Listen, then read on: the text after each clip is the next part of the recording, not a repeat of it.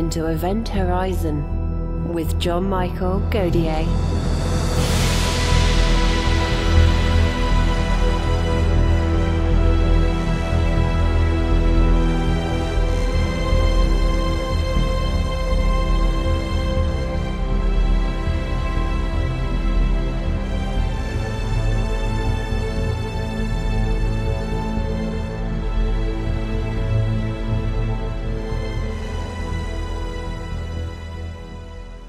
In today's episode, John is joined by Darryl Seligman. Darryl graduated from the University of Pennsylvania with degrees in mathematics and physics. He is now a graduate student and Gruber Fellow at the Astronomy Department at Yale University. His primary study is theoretical and computational astrophysics, having worked on a variety of topics that are broadly related to planet formation. Most recently, he worked on the interstellar asteroid Oumuamua and dust plasma instabilities. Darryl Seligman, welcome back to the program. Hey, thanks for having me. I'm really thrilled to be back. Now, Darryl, the mysterious object of Oumuamua that we've all been talking about for, well, several years now, you have, I think, what is probably the most satisfying explanation for this thing that I've seen yet. that seems to seems to explain everything that was seen with that object. And it turns out, you know, the universe turns out to be weirder than we expect. A hydrogen iceberg. Tell us what led you to suggesting that maybe this was a giant piece of frozen hydrogen. Right. Well, oh, you're flattering me, but thank you for saying. Yeah, I, I also think this is a pretty cool interpretation for Oumuamua because like you said, the hydrogen iceberg hypothesis basically explains every single mysterious thing about Oumuamua. So I guess the story starts, and we talked about this a little bit on the last show, but with this non gravitational acceleration that was detected. So there's a 30 sigma significant non gravitational acceleration in the trajectory of Oumuamua that's continuously pushing it away from the sun. And we showed in, I talked about this on the last show, but we showed in that last ApJ letter with Greg and Konstantin that the most likely source for this non gravitational acceleration was cometary outgassing. So what happens is you have icy, so it could be any type of ice. This doesn't have to be hydrogen ice. So this happens in solar system comets. You have frozen, icy, volatile material that gets when it gets close to the sun that ice heats up and sublimates or transitions from solid ice to gas produces an outflow and then pushes the body away from the sun. So we basically understood that that cometary outgassing interpretation not only would explain the non-gravitational acceleration but would explain the constant spin period that was observed and we showed that that kind of led to Oumuamua rocking back and forth like a pendulum. And that also gave us a kind of dynamical constraint on how big Oumuamua was, which led to a size of about 100 meters. So that was very cool. But then we realized that there was, if you say that the non-gravitational acceleration was the sublimation of some type of ice, there is an additional constraint on what type of ice it could have been which is purely an energetic constraint.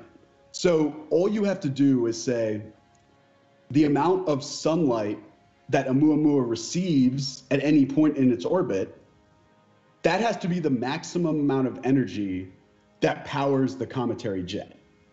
So the basic idea is sunlight comes, hits the surface of Oumuamua, that ener- those energetic photons go into what's known as the latent heat of sublimation, or basically breaking apart. It's energy you have to put into an ice to break apart bonds to allow for the phase transition to happen. And then you have to heat those now gaseous molecules up. So you can just look at the amount of energy that Oumuamua got from the sun and say, what what type of we, we know how much energy was imparted to the body to account for the non-gravitational acceleration. So you can just say, well, let's look at different species of volatile materials, different ices, and say, does it receive enough energy from the sun to power the jet. And what we realized, the constraint is amazingly strict. So almost nothing works. So if you say that this weird non-gravitational acceleration must have been from outgassing, just from a pure energetic argument, there are only three or four volatile species that could even possibly produce the non-gravitational acceleration. And by far the most likely of those is molecular hydrogen. So something like something that you see in solar system comets like H2O, so a water jet or a CO2 or a CO jet, is just ne- never going to work for Oumuamua. It could never produce the magnitude of the non-gravitational acceleration that you saw. So we realized that Oumuamua's if it was outgassing, if it was volatile icy material that was sublimating, it must have been powered by the sublimation of molecular hydrogen. When we looked, we saw no outgassing, but there are certain things we can't see, and hydrogen of this nature is apparently one of those. Why is that? Yeah, that's absolutely right. So basically, when you look at a comet, you barely ever see the gas. So what you see, the big, beautiful cometary tails, that's coming from light reflected off of micron-sized dust particles. And you know, there are some dim comets and comets that you don't even detect micron-sized dust particles. So the fact that Oumuamua had no tail just meant that there wasn't that much uh, dust or micron-sized dust in the outflow. But they looked with so Dave Trilling looked with the Spitzer Space Telescope, which looks it's a satellite which can look in the infrared and the near infrared and what that would see is emission features from carbon based molecules. So that would actually be able to pick up the gas, like you ask about. And what was shocking about the Spitzer results was that there was a very significant non detection of Oumuamua with Spitzer, which meant that it did not see any CO2 or CO coming off the body. But something like H2O, you would never see in any of that. So that H2O would effectively be invisible.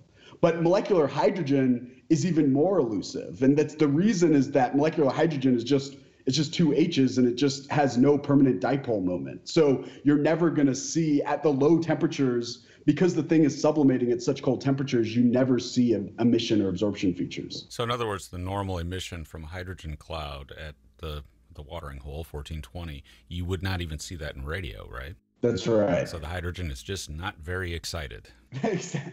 exactly. And the reason that hydrogen, yeah, basically the reason that the hydrogen iceberg thing works is also the reason that molecular hydrogen is so hard to detect at those temperatures. Now, this gives us that cold, gives us a clue to the possible origin of this object, meaning a giant molecular cloud, a star forming region. Tell us about that. Right. So, this is very cool. So hydrogen is the most abundant element in the universe, but you almost never hear about solid hydrogen. So hydrogen is almost always thought to be in its gaseous phase. The reason for this is that molecular hydrogen at very low pressures will sublimate or that just go from ice to gas at around 6 Kelvin. Now, 6 Kelvin, remember, is almost absolute zero. So zero Kelvin is you're, you're never going to get down to zero Kelvin, but six Kelvin is extremely cold. And just to give you a reference, the cosmic microwave background is at 2.7 Kelvin. So the only place in the galaxy that is cold enough and dense enough to even maybe be able to freeze out hydrogen into the solid phase is not only the giant molecular clouds, but the coldest, densest cores of the giant molecular clouds. Now, these are the these are the these pre-stellar cores. These are the cold, dense cores of the giant molecular clouds where stars eventually will form. So the idea that we propose is that Oumuamua was a hydrogen iceberg that formed in a pre-stellar core in a giant molecular cloud. Because in these pre-stellar cores, hydrogen freezes out and then builds up into macroscopic 100 to 500 meter size bodies. And then the the basically the core releases these hydrogen icebergs into the galaxy. Now this is important because that would give us a probe into stellar formation, the very earliest stages of the formation of a star, correct? Yeah, so that's one of the most exciting it's kind of one of the most exciting ramifications in my opinion of the paper. I mean just to think that Oumuamua was a hydrogen iceberg is very cool in and of itself. But to think that you had a frozen fragment of molecular hydrogen from a pre-stellar core. So this is that would mean that this is the most primordial, pristine material that we could ever probe in the galaxy. And so this is the material that will lead. So before a star forms and pollutes the gas in the system, these icebergs would be solid samples delivered right to us of the material that was around that then formed a solar system, but before the star formed. So that's extremely exciting. So it, it, it seems as though that the very, very beginnings of a star starts in the very coldest place. So this great fusion object that eventually appears comes from the very coldest conditions in the universe, essentially, right? That's absolutely right. And it's it's pretty cool because you might say, wait a minute, you're saying that these hydrogen icebergs form around form in these pre-stellar cores in the sites of active star formation. But they also sublimate at very cold temperatures. So if you had a core that then formed a bunch of icebergs, but then formed a star, that star would probably destroy all of the icebergs. So not only would these hydrogen icebergs have to come from the from the pre-stellar cores, they have to come from the starless cores. So these are the cores that fail to form stars, that never end up forming a star. How about mass? So say we have a whole lot of these hydrogen icebergs, you know, floating around the galaxy.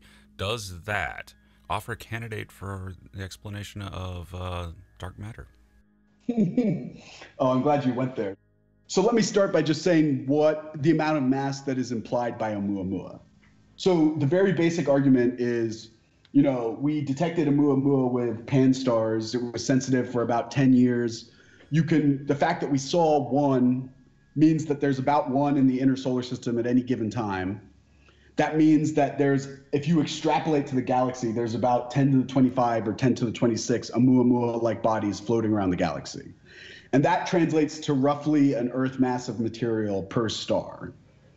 Now, when we realized that the bulk energetic argument was hinting that solid molecular hydrogen was the accelerant for Oumuamua, I was doing some background research and I found this paper by, uh, he's now deceased, but Stephen White, who was a professor at Riverside, who talked about could baryonic solid hydrogen be the missing dark matter in the galaxy? So that's saying, could the dark matter halo, which is an, a huge amount of mass, that's affecting the galactic rotation curves, could that be all due to solid hydrogen icebergs that are effectively undetectable? And it turns out that that doesn't work because you you just don't have enough material to form that much mass, lock up that much mass in hydrogen icebergs. Just to see one Oumuamua while we were sensitive to detecting them is much easier than affecting the entire galaxy. So while the idea of solid hydrogen was proposed as a candidate for dark matter, although that doesn't work, all of Stephen White's arguments are still valid that you could freeze out hydrogen in very cold giant molecular clouds. And it works very, very well to create enough icebergs to account for this elusive, dark population of interstellar objects. Now, the one thing that people are going to wonder about was one of the strangest aspects of Oumuamua was its apparent shape. Whatever that was, it was shaped very strangely. And your model with the hydrogen iceberg actually explains this. Could you go into that? Yeah, this is very cool. So while the hydrogen iceberg interpretation of Oumuamua it's a very cool sounding idea. The reason I'm so convinced of it is not is not because of the interpretation of it, but because if you posit that Oumuamua was solid hydrogen ice, all of these mysterious properties about Oumuamua get explained. So we've already talked about the non-gravitational acceleration and the energetic constraints and the lack of a coma and the lack of detecting the outgassing. But one of the weirdest things about Oumuamua, like you said, was the shape. And specifically by the, the shape, I mean the aspect ratio. So what we got from Oumuamua when we are monitoring it, if you look at the brightness variations, it changed in brightness from a factor from by a factor of about 12 which impl- which means that it was brightest and dimmest. The difference between the bright bright and dim reflectances off the body was a factor of 12 so that implies that the body was elongated and tumbling. So you're seeing head on versus edge on projections of reflected sunlight. But you need something that's uh, at least six to one in aspect ratio. And in fact, we talked about this in the last uh, show, but the best fitting shape is the six, roughly six to six to one pancake. But six to one is extremely elongated, and we have never seen anything up close in the solar system that was that drastic. However, if you say that Oumuamua was a hydrogen iceberg, then the elongation naturally occurs over the body's lifetime. So the way this works, let's think about Oumuamua's journey through the solar system as it first saw the sun. Oumuamua was tumbling, so it's experiencing roughly even sunlight on the whole surface of the body. And what's happening is this the solar photons are coming to the surface, heating up hydrogen and sublimating it off the surface. So you can think of what's happening as you're roughly eating away hydrogen shells off the surface.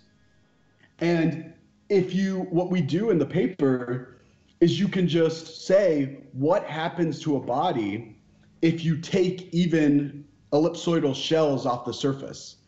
And amazingly, this process is basically exactly what it's exactly the same process as what happens to a bar of soap. So if you think about a bar of soap that you use in the shower, you start with something that's a little bit elongated.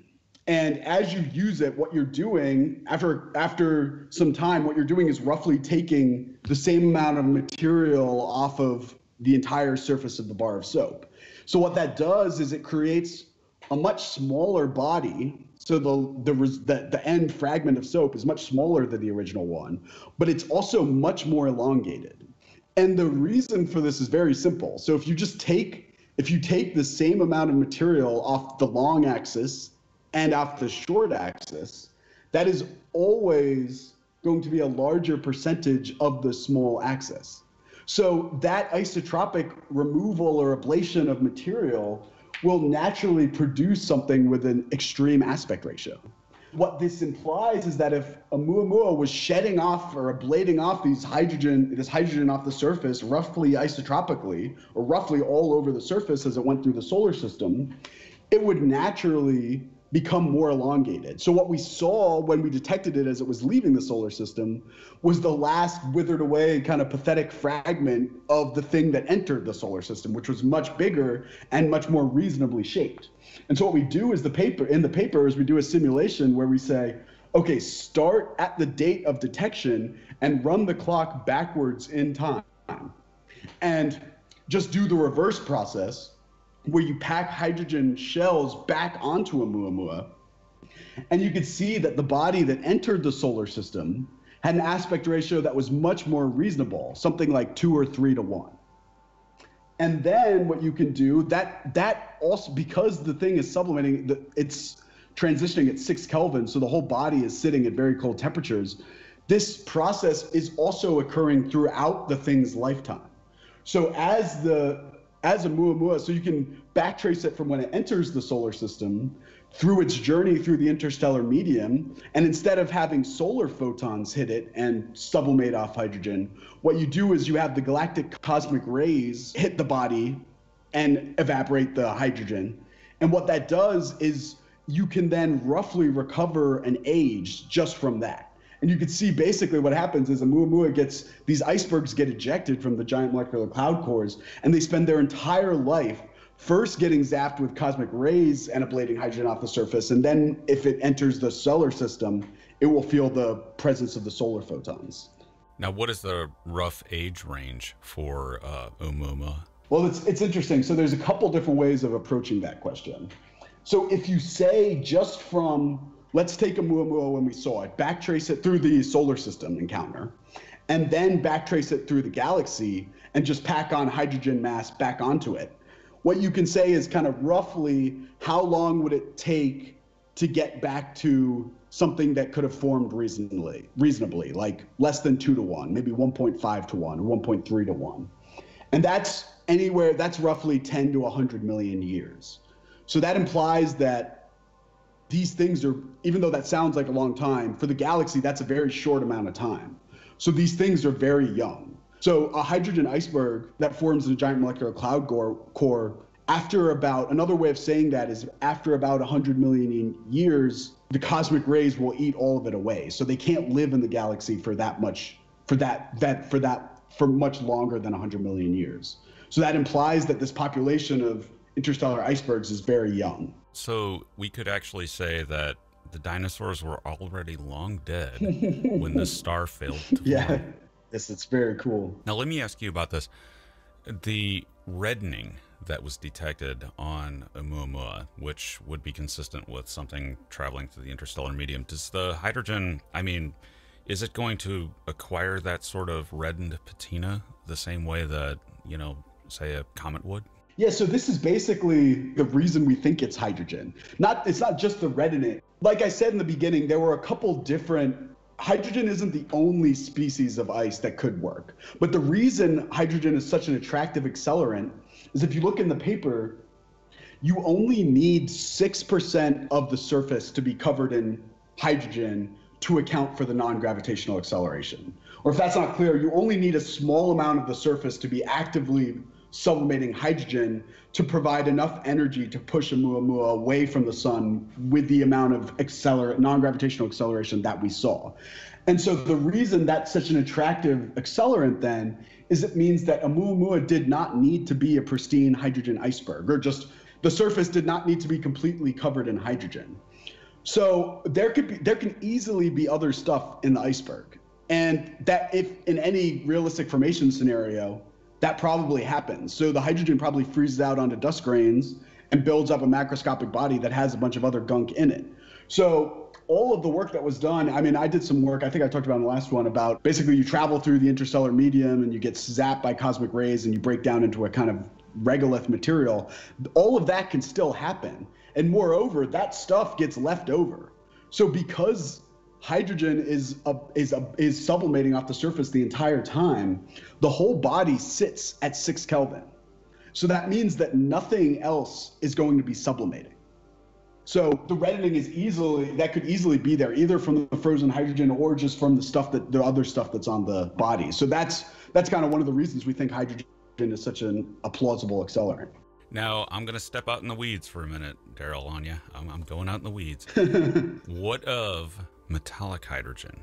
Because that's thought to possibly be metastable. Would that behave the same way as as the hydrogen iceberg? Would that I mean, I can't imagine how you would end up with a piece of metallic hydrogen out in the interstellar medium, but could that be just as viable? Uh, if somebody comes up with a formation scenario for that, I would like to see it. But I think I'm going to stick with the hydrogen iceberg, the ice, the icy hydrogen for now on the giant. I think I think the solid hydrogen ice is as exotic as I want to go for this thing. I don't think it needs to be any more exotic. Yes, it, that's probably. Well, uh, the other option was um, your paper also looked at neon, and I mean, it, there's an elephant in the room there. Hydrogen is the most abundant element in the universe, and neon not so much. So this is very likely not to be a neon iceberg. But is there any possibility that such a thing could ever form if you had some neon-rich, weird whatever that could uh, also form this?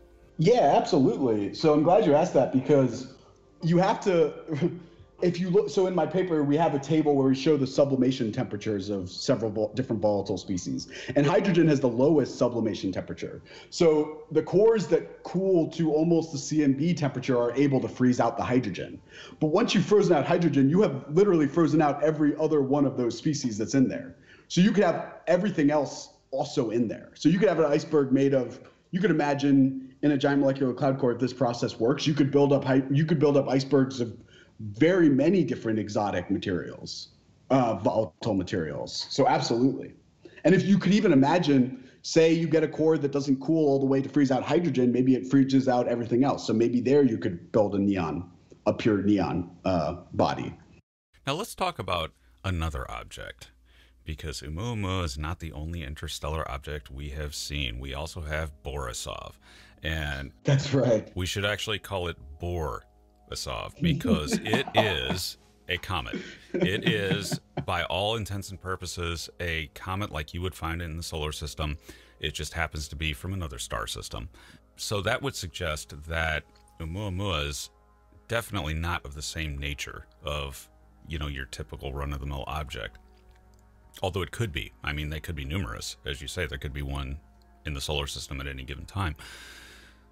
But that seems to say that given Borisov is so pedestrian, that's which I, I shouldn't even use, use that term because I can think of all kinds of things we could study with Borisov. You know, what carbon compounds are on that thing? You know, we could ask all kinds of questions, but it seems to suggest and push Oumuamua in the direction of being something that, at least right now, we would see as exotic, such as a hydrogen iceberg, right? Yeah, yeah, that, that's absolutely right. Borisov is a very interesting object, but I kind of I like to think that I like to think that Borisov is so interesting because it's not interesting. Besides from the fact that it's interstellar, it's it's basically acting exactly like what you would expect for an interstellar comet.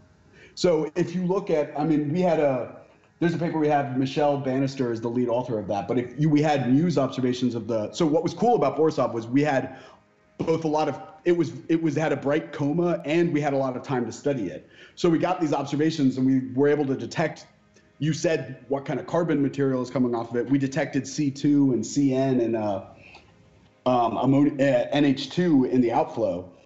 Um, but basically, what we found by studying the composition of the outflowing material was that it looks exactly, it looks very similar to typical solar system comets. So that's interesting because it's telling you if this was a planetesimal that formed around another star, that's telling you, I think what that's telling you is that planet formation, even though we don't really understand planet formation, it's probably working in a quite similar way around other stars as it worked in the solar system. But I think what's cool about Borisov is that you detect a second interstellar object just a few years after Oumuamua, and it highlights in every single way why Oumuamua was so weird. So Oumuamua, the lack of the coma, the outgassing and the non the outgassing and non-gravitational acceleration. Um, Borisov came in and it had a big bright coma and it was clearly a comet. It didn't have an elongated shape. It was just a cometary nucleus that was sublimating. And then the last thing that what what I think it's telling you is that you have two distinct and roughly equally numerous populations of interstellar objects. So you have the kind of typical bright interstellar comets like Borisov, which are pretty much just like solar system comets that get scattered out by extrasolar giant planets and fill the galaxy. But then you also have a population of dark hydrogen icebergs like Oumuamua. So I think Borisov is pretty cool because it uh, it basically is highlighting that no, that population of interstellar objects that you thought, the interstellar comets, definitely exists. But there's also this much weirder, elusive population of dark hydrogen icebergs that are floating around as well. I will retract my assertion that Borisov was boring because if you think about if you think about that, it's very similar to our own solar system comets. But our solar system produced not only life but a civilization. That's right. That's right. So one must, and comets, you know, some say they're they are linked. Now, one last question for you. It seems to me that if we have a hydrogen iceberg cooking through the solar system, that's useful. In other words, that's some that's a, that's a resource if we can catch up and and do something with it. What could we do if if you know? Uh, I guess it's two stage question. What could we do with it if we could catch up with it, and if we could catch up with one, how could we study it? What kind of probe could we send to look at these? Yeah, so I think I talked about this a little bit on the uh, on the last show, but in, in my first paper about Oumuamua, I had I had proposed sending an interception mission to an interstellar object, and I think you're kind of referencing that because we basically said to I mean, you could look at the different types of ways you could visit an interstellar object. Basically, because they're moving so fast, the only feasible thing to do is kind of jump in front of it, like jumping out in front of a fast moving truck and intercepting it with an impactor. But then what you could do is that would impart a lot of energy and you could kind of study up close and do a detailed study of the material that was coming off in the impact. So that would be the good thing about if the, so the cool thing about the hydrogen icebergs is that because they're so elusive and hard to detect, the ones that we do detect come much closer to the Earth. So Oumuamua came much closer to the Earth than Borisov did. So that means it would actually be a lot easier to do an interception mission to an interstellar hydrogen iceberg because you're going to detect the closer ones. It would be it would be extremely interesting. So one thing to do would just be to verify what it was made of. So what you could imagine doing was having an inter having a payload that had an impactor and also scientific instruments like a mass spectrometer, which would be able to which would able be, be able to detect the mass of the speed, the things that were coming off of the impact, and that would be able to verify if it was molecular hydrogen that was producing the non that it was if it was a hydrogen iceberg. So just just figuring out what it's made of is the first order thing you want to do, and that's very interesting. But on a more broad kind of why why study these hydrogen icebergs is they basically give you the they give you a probe of the most pristine and the most primordial material that's in the galaxy. So we've done lots of missions in the solar system to look at the results of what happens after stars form. So after stars forms, you get a disk, and then you get the disk goes away, and you have planets, and you have comets and asteroids, and you can kind of you can learn a lot about how those processes work from studying the remnants of that of that uh, planet formation process. But for the first time ever, you could be able to up close probe the material that formed a star. So before the material and the gas gets polluted from the star and the planets that form around there, you could probe that pristine material because it's locked up in these hydrogen icebergs. So I think that's extremely interesting because that would tell you about the initial conditions of star formation itself. The the life of a hydrogen atom. It could either just wander the universe aimlessly, or it could end up being fused into something else in a star. It's absolutely amazing. It is amazing. All right. It is amazing. We are out of time, Darryl. Thanks for joining us again, and I look forward to your next paper. Thank you so much. It was a blast. Thanks for watching Event Horizon. Unfortunately, John's not here to do the usual joke. He's too busy trying to coax an opossum out of a truck that needs to go back by 3pm and not a minute later, or we lose the deposit. Don't forget to subscribe for more videos like this one.